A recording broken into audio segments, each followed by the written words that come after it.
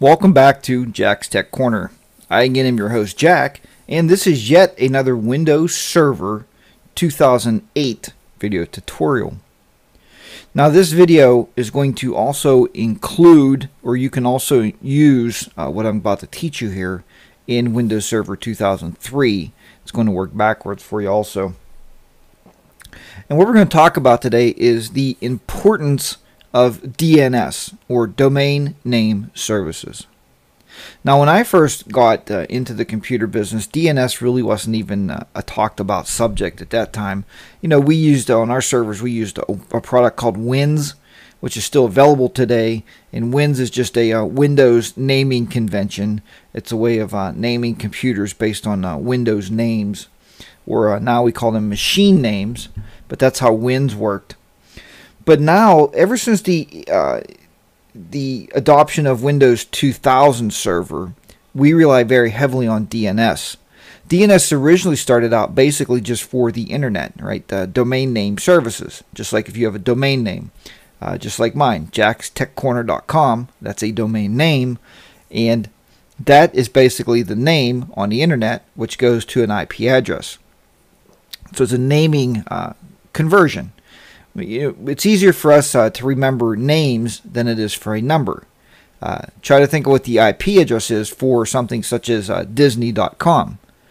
You probably don't know, and you don't even care because on the back end of a DNS server somewhere, it's taking care of that uh, transition for you, that transaction.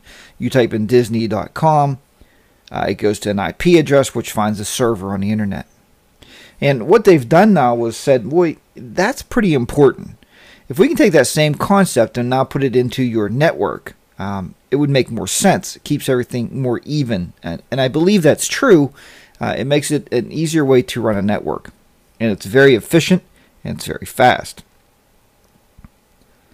There is some problems where people run into uh, ever since Windows 2000 Server that I look at uh, as a network administrator, and I think, well, it's uh, really interesting to see people make this mistake. Uh, but early on, I mean, I've even uh, made it when I first started with Windows 2000 Server because I was an old Windows NT guy and I was more of a WINS uh, type of a man. So we used WINS. But what I'm telling you here is all your computers should point back to your DNS server. Now, what I mean here, if I go into properties here, I think we can go into here and I can show you this. We'll go to our network adapter change network adapter settings. And here we are on the server. We're on the Windows 2008 server. right click and go to properties here. What I mean by on this IP4 right here, okay, you can see where the server itself already set this up. Any computer on your network, you want it to point back to your primary DNS server. That's very, very important. If you have any computers in your network right now and your logons are taking 10, 15 minutes and it's driving you absolutely crazy, uh, it's making your users look at you as less of a technologist and more of a uh, pastry chef, then you probably need to pay attention to this. The preferred DNS server, this should always be the IP address of your primary domain controller as long as that's where your DNS resides. Because remember, you can have multiple servers. You can even have tons of virtual servers running and have one just doing DNS. Um, if it's a rather large network, maybe you need, I mean, large network, folks. I mean, 20, you know, 2,500 computers. Maybe you want one computer doing all the uh, DNS handling for the day. Um, on our network, we're running uh, just about 800 computers so we use everything on our primary domain controller. Everything runs through DNS on there, and, and it works just fine. We don't have any problems at all. So every computer in your network, the preferred or the primary DNS server will be the address to your domain controller where your DNS is residing, whatever server that may be on. The alternate, this could be pretty much, uh, maybe you have another DNS server. Some uh, organizations use two DNS servers in your network in case the first one goes down. Uh, and this is very critical, and I'm going to show you in a minute why. Uh, but you want each person to be able to find the computer or resources on your network very rapidly. Uh, if you're not setting these DNS servers up right, that's not going to happen. Um, you're going to find people out there, and it's going to take them quite a long time to find the resources on your network, and it's going to be very irritating to them. Again, you fall into that realm of um, not being a technologist, of maybe being the uh, company cleaner. Uh, and not being a cleaner or a pastry chef is bad by any means, but if you're a technologist, you want to be known for your technology abilities, not for any other ability that you may possess. That's all I'm saying. That's that's why I'm bringing that up. Uh, all these other professions are fine, but I want you to be known as a technologist. So the alternate DNS server can be either that, can be that, or I tell you what, we use a uh, company on the internet called OpenDNS. If you want to fall back, uh, pretty good uh, overall web filter, uh, at least to uh, filter out pornography out of your network, use OpenDNS. Set that up, and uh, we can look at that if you email me. And if you if you have an interest, I'll show you how to set OpenDNS up so you can use as your fallback uh, web filter for pornography in case your filter should break.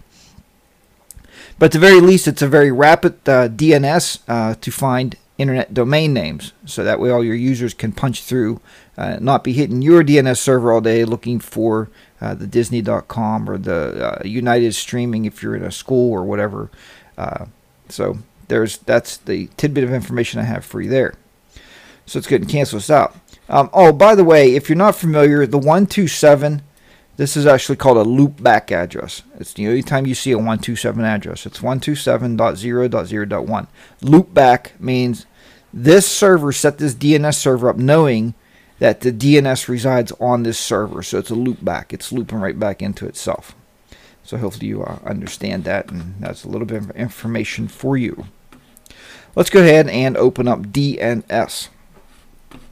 Now, DNS is the uh, domain name services. As you can see, here's the name of our DNS here. It's called home server. If we click this pull down menu, there's a forward lookup zone in other words, you're looking it up forward. Forward is always you're giving it a name, and it will figure out the number for you. The reverse lookup zone, which you see I don't have any set up, reverse is just the opposite. You give it a number, it can give you a name.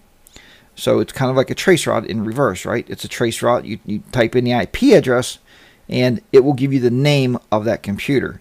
This is very nice um, if you have a, say you have a web filter on your system, a content filter, and it's looking at IP addresses all day. You want to find out whose uh, belongs to a certain IP address. Maybe uh, they're looking up something you shouldn't be looking up.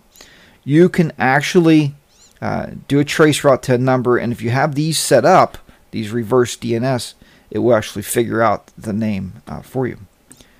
The forward DNS is the primary uh, meat and potato. Here's our home.net server right here. So that's our primary uh, our primary zone is what that's called. It's a DNS. This is a zone, right? Look up zones, home.net. All right. Don't mean to be boring you here. This is very important stuff to get a hold of, uh, to get a handle on, especially if you're going to be the network administrator running this uh, Windows 2008 server or 2000 uh, or 2003 server for that all that matters. Now here's why it's very important. If we go anywhere on our network and we would type in uh, home server. Okay, we would type in home server. We want the computer on that network to be able to find that home server.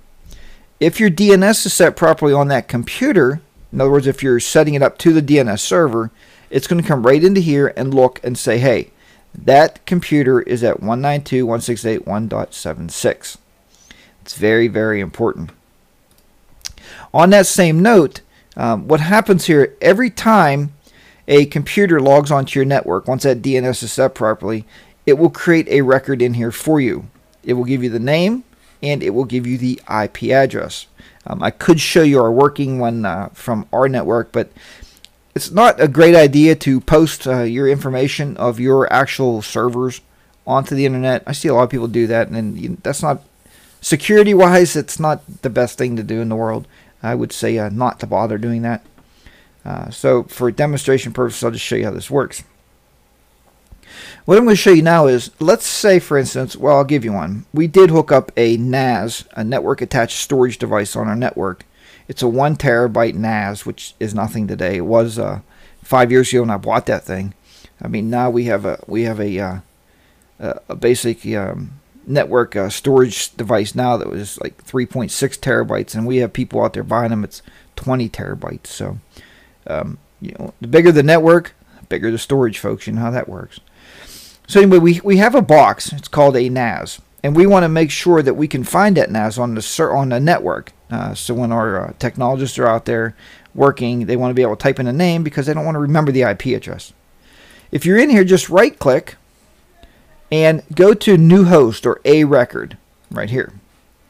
Now it's going to ask you for that a record or the name of that device. Um, let's just type in NAS. Then it's going to ask you the IP address for that device. Let's say it's at 192.168. I don't know 1.100. Let's just say that. You can also create the assorted, uh, create the associated pointer record. We'll go ahead and do that. Go ahead and create a host. Okay, says the pointer record could not be created, probably because the reference reverse lookup zone could not be found. So no, I didn't set that reverse lookup zone. That's what that's telling us. But now right here, if you see it, NAS. So now anywhere on my network, I can type in NAS and it should give me that IP address. And that's exactly what we're going to look at to see if that is the case. Type in command. And then if you would do uh, hopefully you can see this okay on this video. If you would do a trace route, NAS, there you go. You can see right there, it gave it to me in a matter of a second. 192.168.1.100. It knows exactly where to go to find NAS dot, because now it's making this a subdomain basically, uh, because now your network is no more than a DNS server, just like it would be on the internet. NAS.home.net. So that is the primary goal. I am going to delete this because uh, there is no such thing on my network here at the uh, at home, so uh, we don't need that. But um, that is exactly how DNS works. Uh, you can't have uh, you can you can have multiple DNS servers running on your network. Um, there's one thing you can't have. You cannot have multiple DHCP servers running on one network. If you want to cause a bunch of headaches for yourself, Go ahead and fire up two or three servers and load DHCP and let them all hand out addresses all day. Um, if you want to lose sleep at night wondering why your network is crashing, why you're getting IP conflicts, go at it and have a good time with it. Um, and we will talk. I'm going to try to set up DHCP on here so I can show you how to do that, how to reserve addresses. It's very critical you know how to do that also. So I hope you've enjoyed this video on DNS management uh, with the Windows 2008 server. Until next time, remember, I am your host, Jack. This is Jack's Tech Corner. Uh, if you enjoy these videos and if you're learning, um, if you want to uh, slide a donation over to the shows, that would be uh, greatly appreciated. It helps to run the software and to uh, produce these shows for you. Um, please subscribe to the shows. Thank you very much for coming, and I will see you next time back here on Jack's Tech Corner. Bye for now.